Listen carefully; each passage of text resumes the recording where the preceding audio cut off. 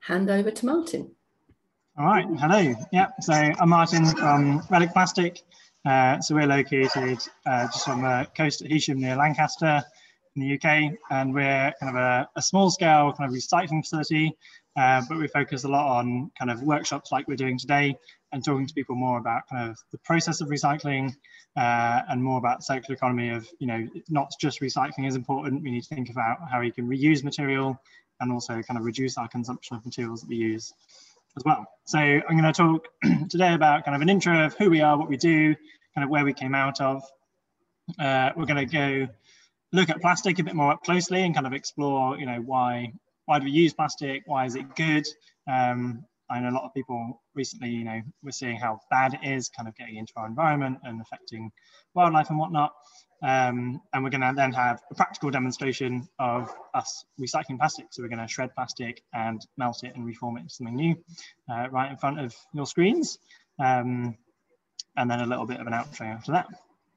So um, we came out something called Precious Plastic, which is this kind of global organization um, of, of people, uh, and they kind of they downscaled the production methods that are used industrially kind of around the world, uh, but they made them really small, uh, and so they're much more easily adopted uh, by everyone. And the idea was to boost recycling, um, and we we saw this as a great opportunity to kind of show you, as we will do later, kind of how recycling works. You know, at the moment we're in this kind of period where, or we're at this loss where you put your material in your curbside recycling bin, hopefully, hope you all do.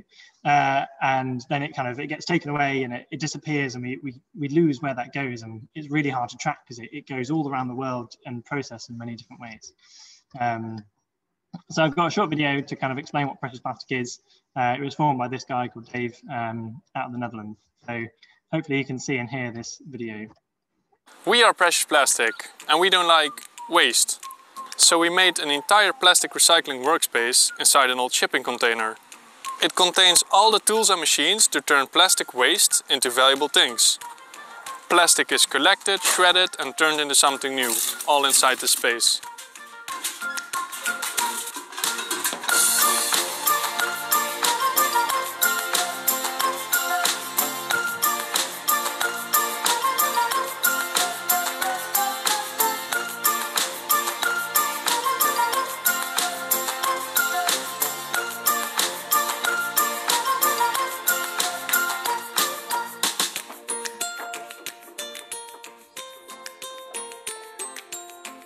This workspace can turn plastic trash into, let's say, beautiful bowls in any color or strong wall grips.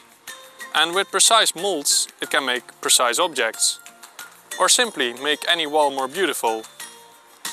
Make beams and construct a big tower or start small with a jewelry collection.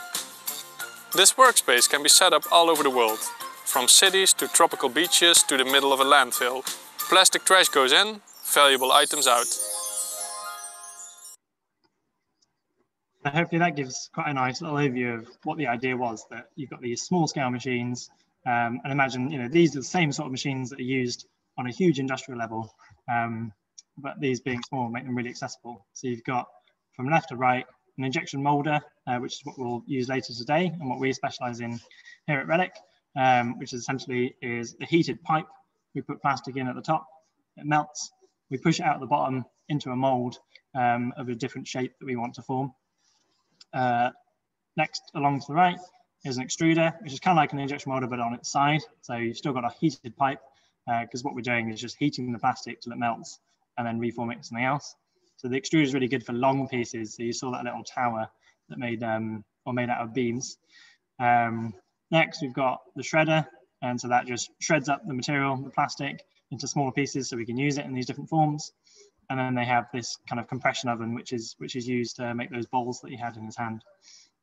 And Precious Plastic is kind of developed as a, a global community, so it's all open source. There are different people who have adopted this, uh, and they've upgraded these. And the big one is that machine on the right that creates these big sheets, so big panels of plastic. And you'll notice, um, hopefully throughout that video, all the colors are really exciting. Um, so what we love about Precious Plastic and having this small scale um, kind of um, the, school, the small scale machines is that and operations is that we separate out all the colors and then we can bespokely mix them. Um, we'll see a little bit more of that later as well. And it creates these beautiful products. And that's what we want plastic to be. We want plastic to be beautiful and functional. And we want those products that we make to last a really long time. Like we don't want to make products that last a really short time and that we don't like or value, because that's what leads to them getting wasted, thrown away, ending up piling on beaches or going just into the ground in landfill where it's useless um, or being incinerated. So yeah, here we're there behind all the bundle. This is kind of a map of global community um, doing things. And loads of people do different things. Some people do machine building. Some people do uh, recycling the plastic into different products. Some do workshops like we're doing today. So examples of what we've made. Um, so we, we have made some small sheets. Um, we make pots. Um, and like the one thing about the sheets is that, you know, we can from sheet material, you can then make different things. So you've got like a lampshade, and we make made a carrier bag dispenser. And there's you know there's loads of things that we can make. So there's a one of the big sheets that um, kind of central team made. You know stools.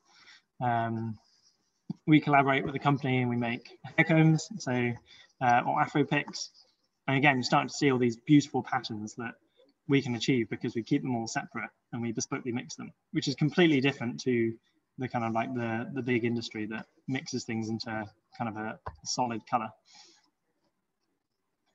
Another product, uh, these knife handles. So these made for kind of chef's knives. So we make the handles.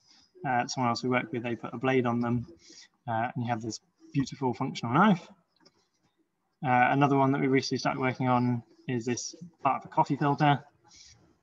And another great example from the UK um, stools. So this is a group up in Glasgow. They get bottle tops, melt them all into a nice disc, and then put some locally sourced wooden legs on it and create a really nice stool. Another one, this is speakers made out of carrier bags.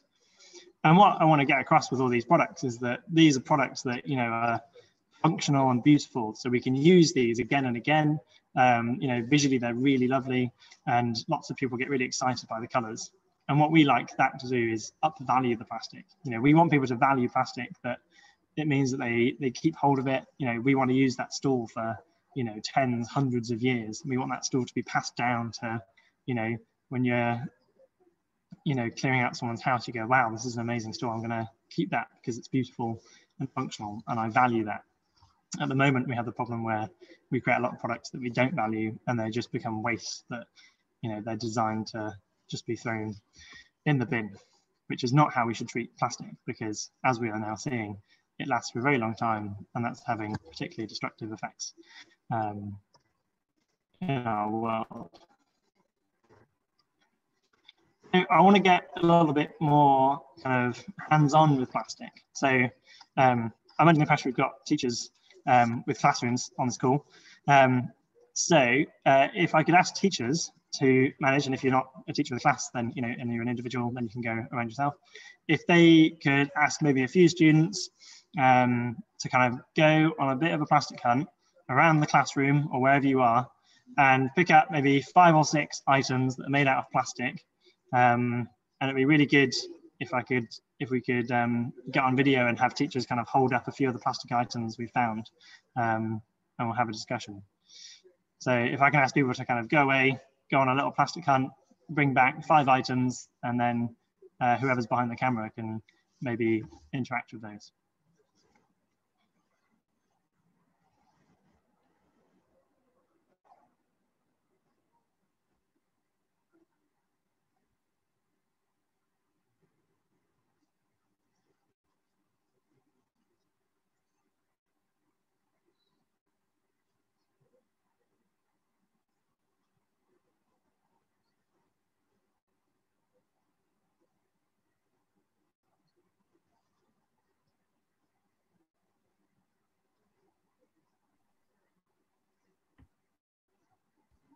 How long do you want to give people, Martin? Uh, I was going to just wait a minute. Um, so I'm kind of counting down a minute. Um, and then I, if, if people are ready and have something, then if they can flick their video on so I can see that they, they've got something, then that would be, that'd be handy.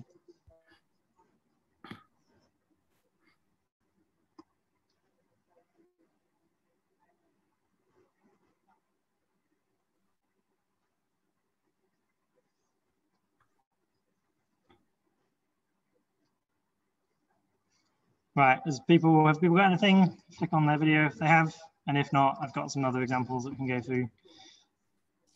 Well, I've got some things if you want to let me kick off. Go on then. What have what have you got? I've got the top of a five litre plastic container. Okay. Anything else? I have got a container which I have reused for putting things in, and the triangle mark on it Yep. Doesn't have a number in it. Oh, hate those. And I have a very old hanger plastic. Ah, yes. Excellent. Great. Well, these are on our list that we're going to talk about. Um, is that tub? Uh, what did it? Do you remember what it contained originally? Um, it's probably mushrooms. Yeah, mushroom tub. Okay. So we're kind of going to go and explore. Uh, so Dan mentioned this kind of recycling triangle um, that you found on the tub. And these are what's called resin identification codes. So I don't expect people to be memorizing what they see. Um, these are kind of like the long names plastics given. Um, but what I want to kind of get at is like there are there are six kind of categories that we find uh, quite commonly kind of domestically around our home. Um, and then there's kind of this categorization of seven, which is other, uh, which categorizes, you know, hundreds and maybe thousands of different plastics. Because, you know, one of the big messages here is that plastic isn't just plastic. There are loads of different types and we use them for different reasons. So, you know, why, why is Jan's bottle cap made out of a different plastic to the one that the coat hanger is used for, for example? So we're going to go through exploring them. And if you do have something in front of you, it's quite nice. You get a bit more tactile and you can see it you might see differences between the plastics. We're going to kick off with seven or other, and typically um, kind of around the house you might find sweet wrappers or crisp packets. Like these are kind of something that um, different plastics. Um, other examples are, uh, I guess, 3D printer filament is one. Um, they're normally kind of classed as other because they might be nylon or PLA or ABS. Um, and so, yeah, this is kind of a, a, a pretty crazy category because there are you know, it incorporates hundreds, thousands um, of different plastics. We're going a bit more specific, and maybe something that we will find more. So polystyrene um, on number six. Uh, you probably, we all know polystyrene is kind of the foamy thing that we might use as packaging insulate, um, packaging um, foam, but there are other things like coffee cup lids, uh, particularly uh, Muller corner pots. Um, Jan's coat hanger, that'll be made of polystyrene and so something really interesting about polystyrene, um, like some of the properties, one really interesting one is that you can polish it really well. And so uh, you'll notice kind of those coat hangers with the metal hook are normally really shiny. Um, and there are people in the kind of the precious plastic community that have made beams out of polystyrene or they make sheets out of them. And the polishing you get and the finishing is really amazing. Um, it's also quite brittle. So you might find if you have a coffee cup lid or like a Muller corner pot, or we probably all know the plastic cutlery breaks really easily. Like the plastic cutlery is, you know, one of those things that it's a bit of a stupid design because it breaks so easily. You can't reuse it. It's kind of made to be used once and that's it, which is one of the problems with um, some of the plastic that we have today.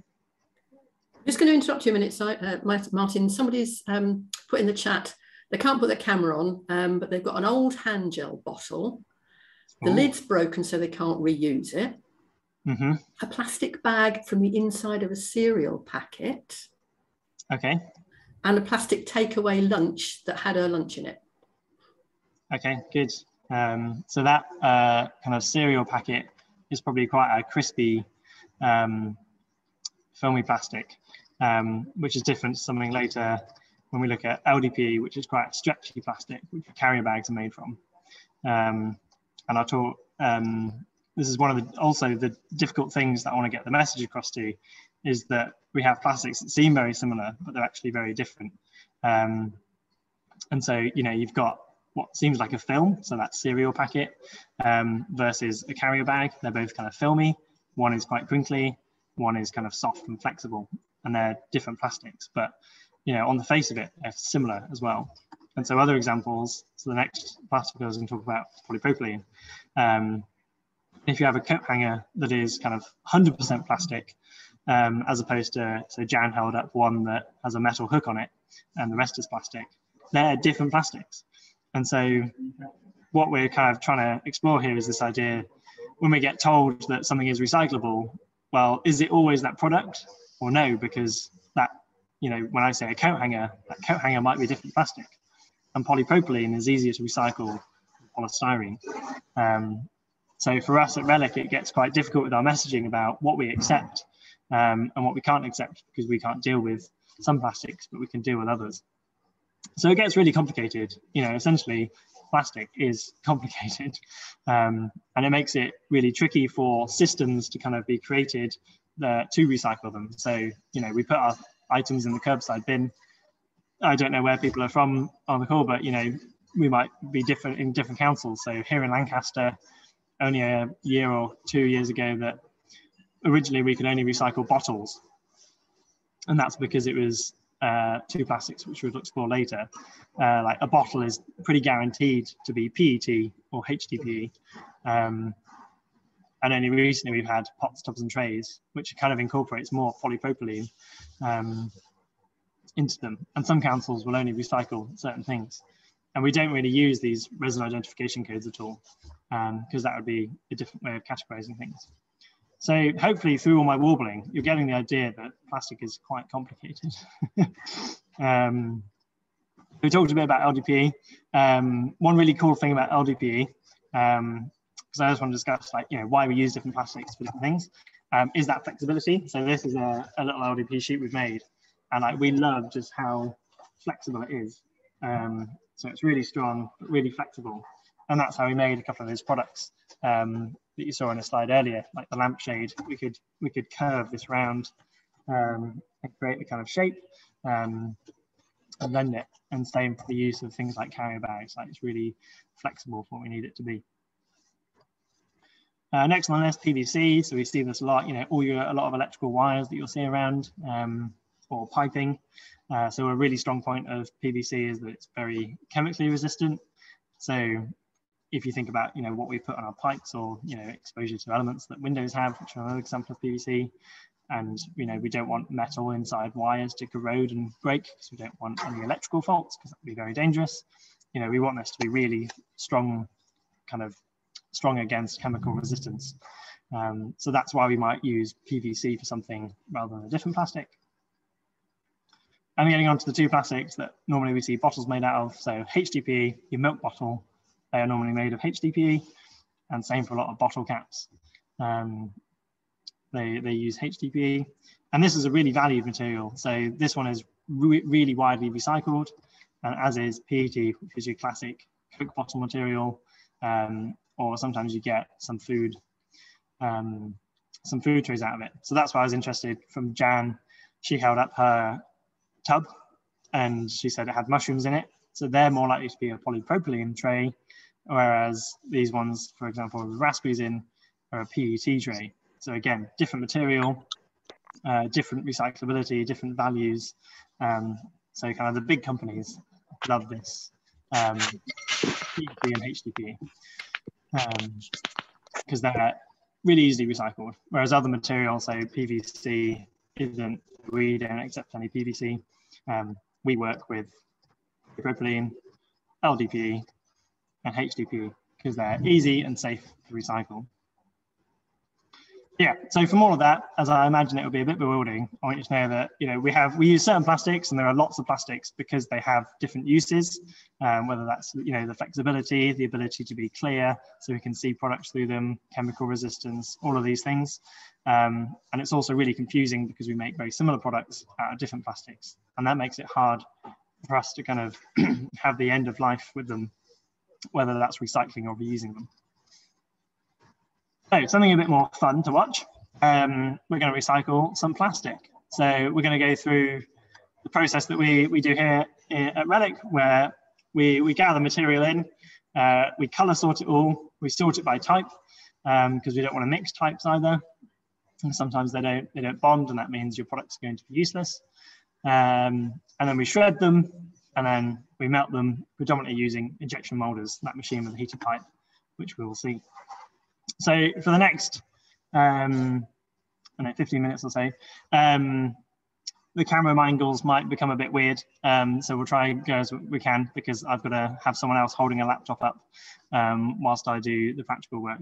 So we'll see how it goes. Um, and we're going to have a bit of space for questions as well. So if you've got any questions so far, um, or questions generally about plastic, about recycling, um, about you know the world, uh, just put them in the chat, and I'm going to get Jan to ask me those questions, um, just so I don't get overwhelmed trying to read everything at once. Uh, and I'll say when we when we can go through questions. So.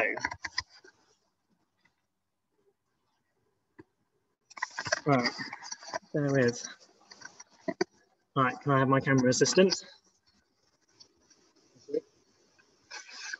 So if you want to give a bit of a, a lean over here, uh, so this is our machine. Essentially, we've got and so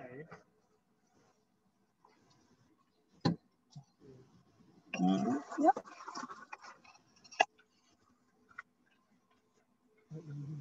So we've got So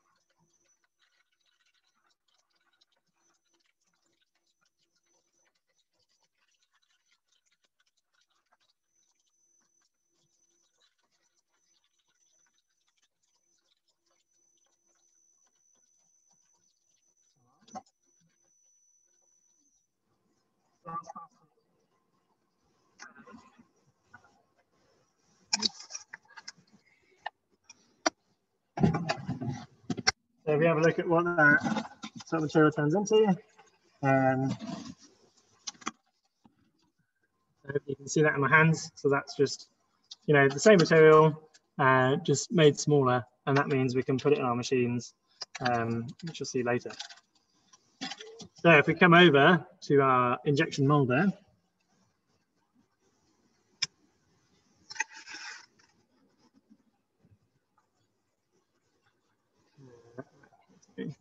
So we've got some of our green. Uh, I'm going to put this, I'm going to mix this into the pop, some other shreds that we've got. I'm going to mix these up. You'll notice in the background some of our combs that we make. So we enjoy this as a nice little color display. Okay, so this wheel I'm moving now is basically a plunger. If you just lower the screen a little bit and tilt it, wait, yeah. So so this is a heated pipe. So that's what gets hot. Going to put the plastic in at the top. And then we're going to wait for it to melt. Uh, and that's when, yeah, so I'm going to put this in. So I'm just kind of moving a plunger up that runs through the machine with this wheel.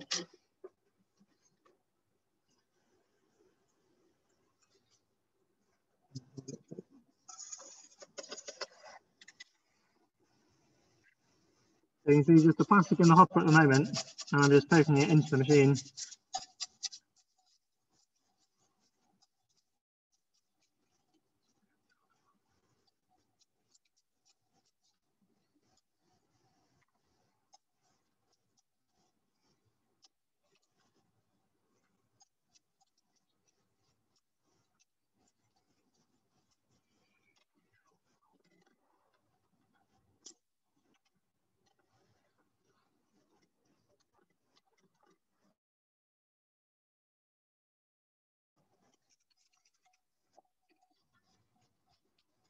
Okay, so that's our machine filled up. We're going to push this down.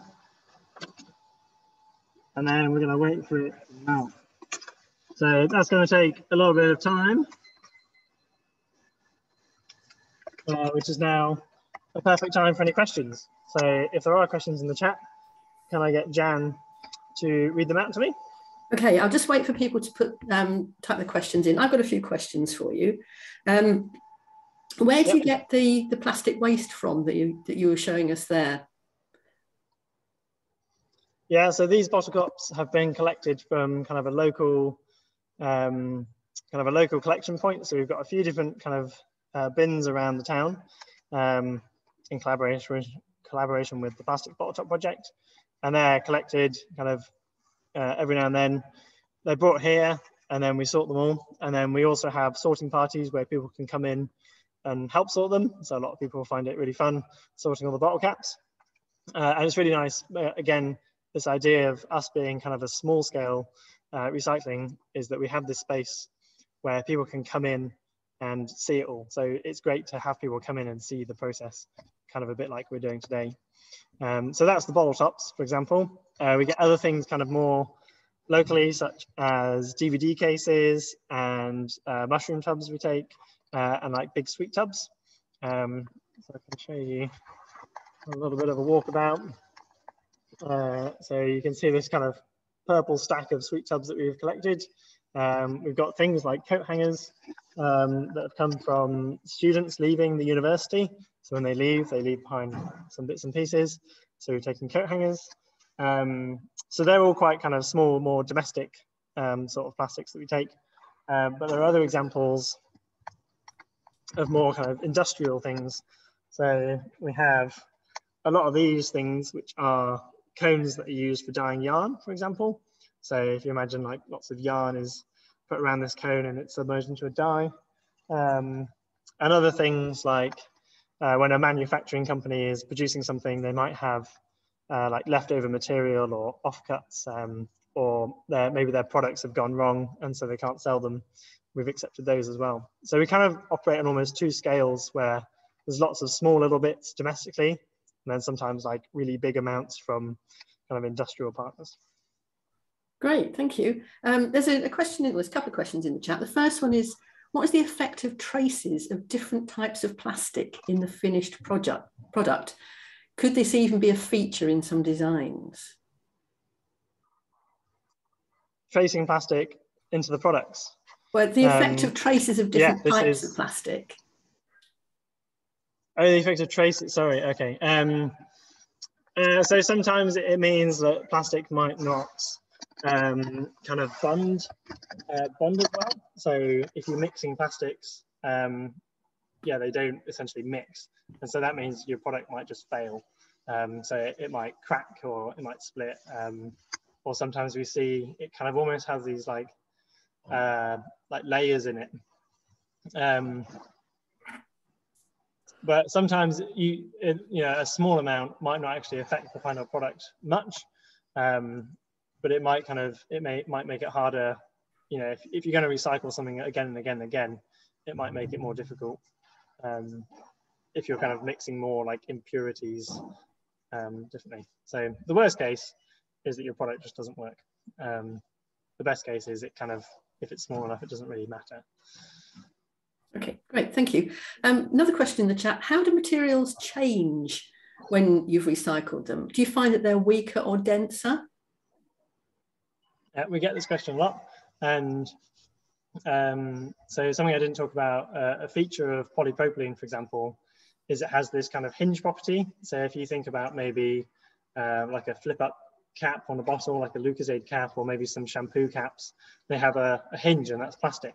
That's quite a particular property of polypropylene. So another reason why we use maybe a specific plastic for a specific item. Um, and I think that's, yeah, that's quite a special feature. And I think if we're trying to do a lot of recycled plastic with special features like that, it might degrade over time and might not be able to achieve that. Um, but the products we make, they're all quite solid bits of plastic. So it doesn't really matter. They don't have to have those properties. And that a little bit goes hand in hand with kind of creating products that we want to last, that we want to be strong and functional and last a long time. Like we want to create those products. We don't want to create something that breaks. So the products we do make don't really have particularly kind of, I guess, special features like the hinge or um, particularly thin bits. They're all quite thick. Um, so we don't really see any degradation. Like we don't see any um, kind of less of a property of plastic. They they do what they need to do the products that we make you know the comb stays intact when you comb your hair the knife handle stays as a nice um, handle to hold Um, you know, our plant pots hold water and strong. You know, we could stand on the plant pots that we make because um, they're thick. So we haven't seen any problems, um, but that is a bit about the design of products that we're making as well. Um, who are the clients for your products?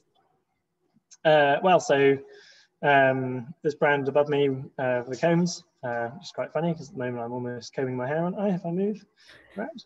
Um, uh, there's a brand called Recomb. Um, someone else called Aurea is with the coffee filters. So uh, we get numerous people that just contact us um, and say, you know, they have a product idea, they want to make it come to life. And so we can work with them from a, a design stage, you know, let's say they have just an idea in their head, we can help kind of draw that and we can model it um, using computers. Um, and then we can eventually kind of design a mold. So you saw in the very beginning of the video, um, those kind of metal molds and then the iPhone cases that came out. Because um, essentially a mold is just an inverse of the product you want to make. Um, and you'll see a mold up close when we inject the product. Um, so yeah, we just get contacted by a number of people. Um, we make a few of our own products. Some people see those and then want to buy um, or make something similar to those. Um, yeah, lots of different avenues. What are the products that you made that you, you've just done yourself rather than for a client? Uh, so our best products or most popular products that we make ourselves are small kind of cover pots, plant pots. I think just because they're obviously kind of easily functional, like a lot of people get to see exactly how they're used. Um, and then they also, they have a lot of surface area, so they're very beautiful um, to look at. So there's some examples. So this one is made from fishing root plastic. push the middle button.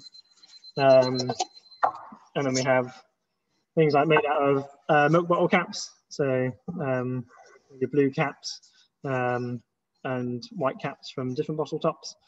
Um, so yeah, so these have proved our, our most popular products. Uh, we make other things such as soap dishes, um, coasters, we've made candle holders.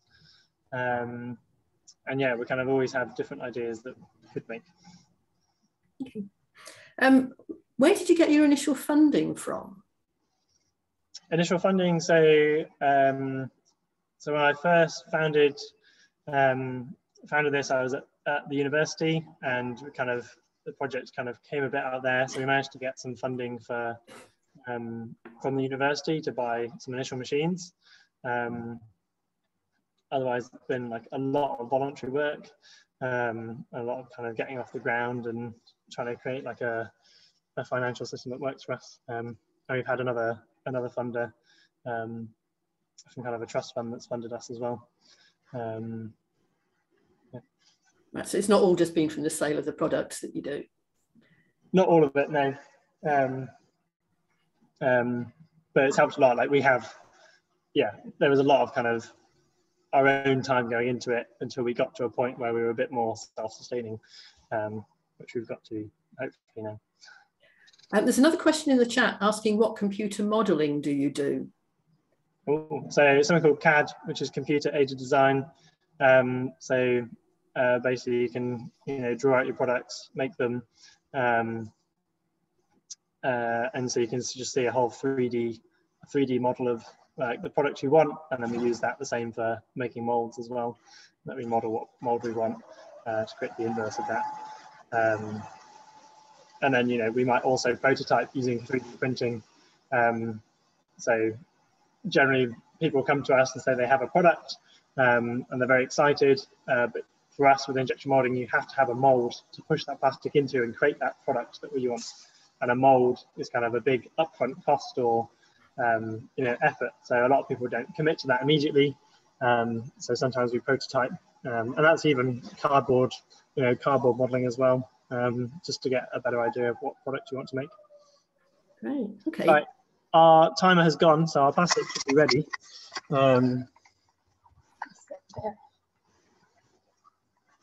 I just uh, putting the camera camera person's position.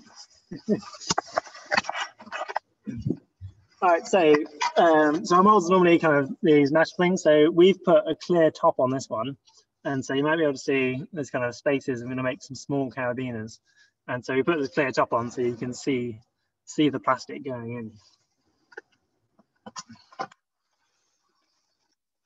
So this is at the bottom of that hot pipe.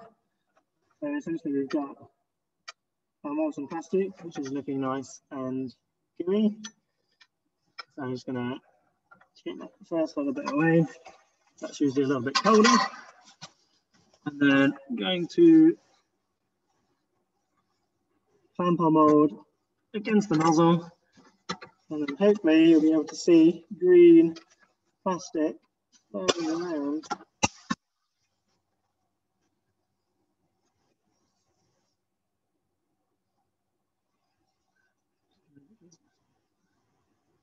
So you can see this green, green open sprouts.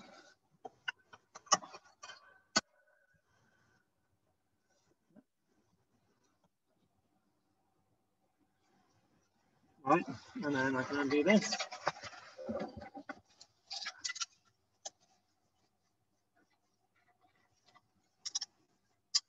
So the product, you know, a lot of people are amazed how quickly we can take the items out. Um, and that's basically because you're, you know, we're heating the plastic. Um, in this case, we're heating it about 170 degrees. Um, some plastic we melt at over 200 degrees. Um, and you know, you bring it into a mold which is maybe 10 degrees. So it cools very quickly um, and solidifies.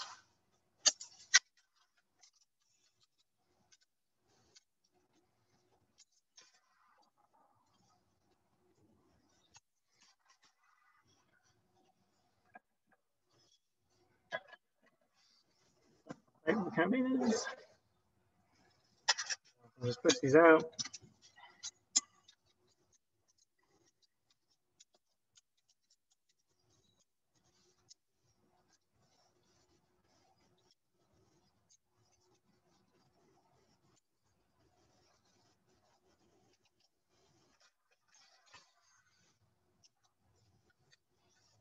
So, so they're made with their this kind of gate piece sticking out and that means we can use the plasticity of the plastic kind of push it back in and then it springs back by itself. So again, another kind of interesting property of plastic is that it has that kind of plasticity and that flexibility. And that is, is simply the process. So there are other things. If we looked at a different mold, for example, so this is the plant pot mold where we create little plant pots so this one again is made out of white and green bottle tops. So this is your, your semi-skimmed pot, with your milk bottle tops. Um, and so yeah, we can make you know lots of different products depending on what mold we have. And that is the basic process. So that happens, I say, on, on a bigger scale. So there are injection molding machines which are much bigger than ours, creating hundreds of products um, a day our process is obviously very manual and a bit slower, but again, we're creating very different products to what these kind of large industries are creating. So hopefully you saw that was interesting. Um, that is, uh, yeah, quite simply how plastic is recycled. Um, and the unique thing here is that we can do it all under one roof. We take the plastic, we process it, we sort it, we shred it, um, and then melt it and reform it. So we know uh, what plastic comes in, what plastic goes out that's why I thought the question earlier was interesting asking um, if it was about tracing how it all goes um, rather than kind of a trace of a different material.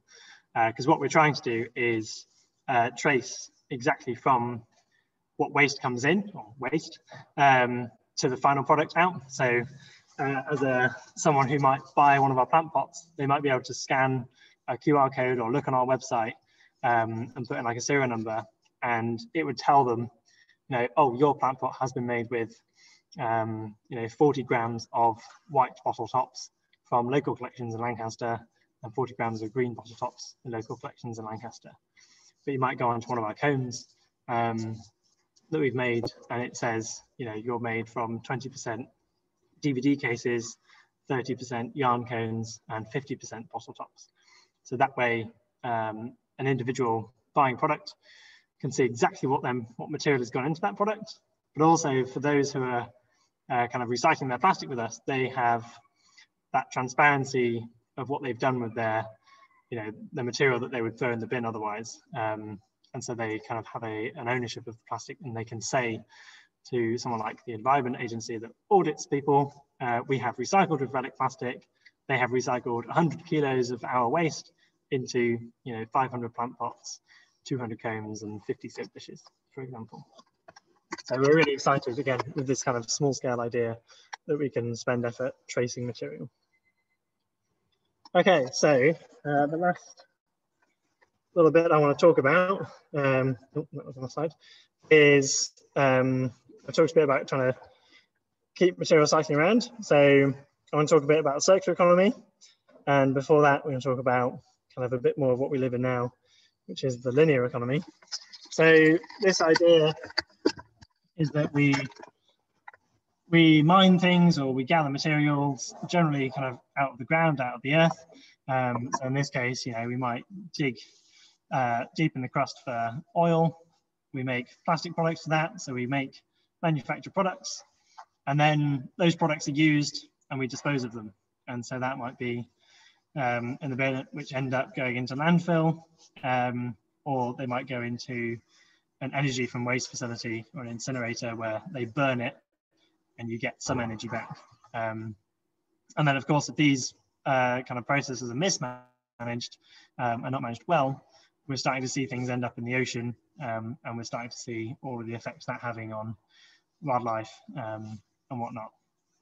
And equally, you know, putting it into landfill, you know, we're just burying a problem and it's still there. Um, you know, things like plastic last for a very long time. So it's still going to be there for a very long time. So that's kind of a lot. And there's a huge design flaw where, you know, if we look at, I've got that image above the oil of like a sandwich packet. That packet has been made, um, you know, with a life of about a few days because you put, you know, a manufacturer is going to put their sandwich in it. You might buy that um, from the shop. Once you've eaten that sandwich, you're probably going to put that in the bin because you don't need it anymore. It's kind of useless to you. Um, that's all it was designed for. Um, so we need to get away from this idea of designing things to be used for a very short amount of time, particularly if it's using material such as plastic that lasts for a very long time. I mean, just think about how we can reuse those things. Uh, so we've already had the example with Jan and her, you know, she had her clear tub that she said you know, had mushrooms in it and she's using it to store other things. Um, so I do the same. I've had mushroom tubs that I store my felt tips in. Um, here we use them to store some of the products in because um, we can organize organize it all a bit easier. So transitioning more to kind of a circular economy, the idea is that we should never really get to that landfill or incineration area. We should never be throwing something away. We should be keep kind of cycling it around the world. Um, so we could still start from mining material out of the ground. Um, although might, we might look at kind of recycling material, what we have already and reduce that um, and stop digging out oil. Um, we make our products and then we keep using those products. And if we can't use them for their original purpose, we might use them for a different purpose. So the example, we've got like a black um, crate. So we could keep that crate, we might have been having uh, food transporters on it, you could keep using that crate to transport food on, or maybe use it to transport something else on. Maybe that crate breaks, um, to which some people might think, well, it's broken, it's useless, I have to throw it in the bin, um, which is also kind of one of the problems in our world where plastic has become so cheap that we think, well, it's sometimes easier to, you know, throw that one away and then buy a new one.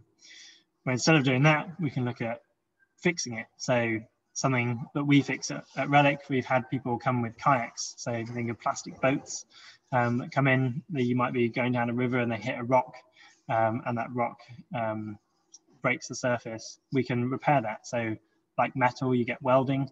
You can do the same with plastic, where you melt it um, and reform it and fix it.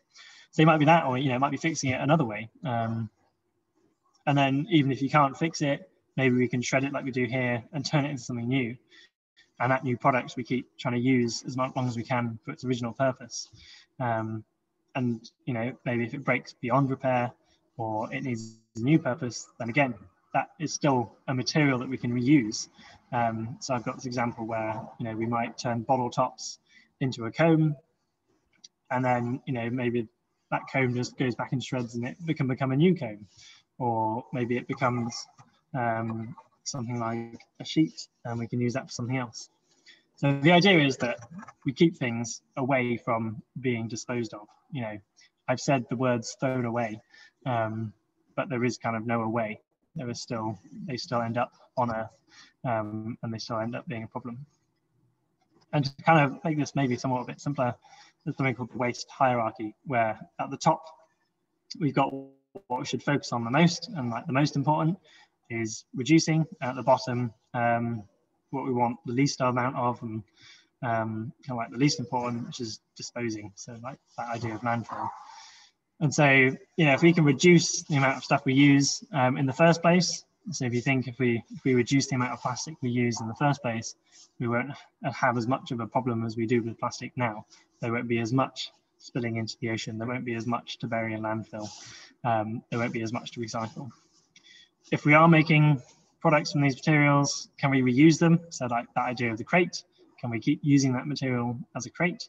Um, if it breaks, we can repair it um, or we can fix it uh, or maybe we can you know slightly change its purpose with a different functionality and then we can think about recycling so um, you know we here at Relic we're fourth on the list um, of kind of importance um, which we, we recognize you know we don't want to be recycling loads of material um, we do it kind of it's, it's engaging and like we said we, we can show people all the process here uh, but really and we, we do repair things and we try and reuse things and this is why we do a lot of our workshops where we talk about the more important things of reducing and reusing.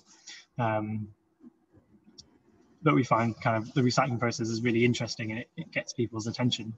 And then we can start talking about the bigger picture um, and why we can't recycle our way out of the problem. And then, yeah, on the last list, there's recover, uh, which is kind of recovering energy from it. So I talked about if we burn the material, we might get energy back. Uh, so we can, we might um, if we burn it, we get heat. So like we burn coal or gas, we get heat and that can drive a turbine and that creates electricity, um, which is good. We get some energy back from it, um, but it doesn't promote these ideas of keeping materials circling around. Like we want to focus that on that last. And then worst case, things like landfill, well, we're burying it in the ground um, and not solving anything really. Um, so yeah, so that sums up what I want to talk to you. So we've talked about uh, a bit about what we do. So Precious Plastic, um, it's kind of global community of small scale recyclers, each doing little different bits and pieces. Uh, plastic, you know, there are lots of different types. It's very complicated for uh, the system and as individuals to know what plastic is what, how to dispose of it properly, um, which is one of the big problems we have. Uh, we've shown you how we recycle plastic. So we kind of make it smaller, shred it down, we melt it, we reform it. Uh, and then finally, you know, why it's important that we need to kind of be reducing, reusing where we can, um, and hand in hand with that, thinking about the product design of things that they're made to last a long time and kept being used. So if we've got a bit of time, then I can answer any more questions. Um, and if you have questions, pop them in the chat. And again, Jan, if you could post those. Yep, I will do that. Um, I was really interested in what you said about there's no throw away, there is no away, um, which I think is a really, a really important message. The other thing I wanted to, to ask you about was um, you talk about recycling, um, but there is another re in a waste hierarchy, it was about repurposing. So, hmm. to what extent would you say that what you do is recycling or repurposing? Um, well, I think I'd still say we're recycling. So I think the difference is about the kind of energy you put in. So if you think what you've seen today, you've seen us put kind of electricity into a motor that drives those blades um, and shreds material, and we're using electricity to heat plastic up uh, to melt it. Um, and if we're thinking about you know consumption generally, so we, we, talked a lot about materials and products on Earth, but if you think about electricity and electricity generation, that might be using materials or, or you know we have to get electricity from somewhere. It comes from kind of energy. Um, so I'd say that's where recycling comes in. Is if you're putting a lot more energy into something, you might be recycling it. Whereas repurposing, um, I mean, I guess loosely, again, like, you know, that mushroom tub was destined to be used for mushrooms to go to a supermarket for someone to pick them up, eat the mushrooms, and then throw that tub, um, you know, hopefully into a recycling bin. But you're now using it for pens, so you've kind of repurposed it or whatever you're using it for. But I use, you know, I've used them for, for pens, for example. So I'd say that's a bit more of a repurpose, or, you know, I kind of mentioned like if we repair something, you might repair it in such a way it, it might not be used as um, orig- its original purpose, um, but you could use it for a new purpose. Okay. So that's where I think the, the difference lies. Yeah, yeah. Because I've seen different definitions of, of repurposing. Um, sometimes and differentiating between the two, where recycling is you're turning something back into the same thing, whereas repurposing is more what you're doing about taking something and turning it into something else. So, so yeah, great. Thank you for the answer. That was fantastic. Um, there's nothing else in the chat. There's no other questions in there. So I just wanted to finish up by saying a, a big thank you to that. I've, I've wanted to see your operation for some time, and it's just been really insightful to see um, the processes in practice. So thank you very much for the session today, Martin. I really, really appreciate it. So thank you. All right, pleasure. No, brilliant. Right, I'll see you soon. Take care. Okay. Bye. Cheerio. Bye.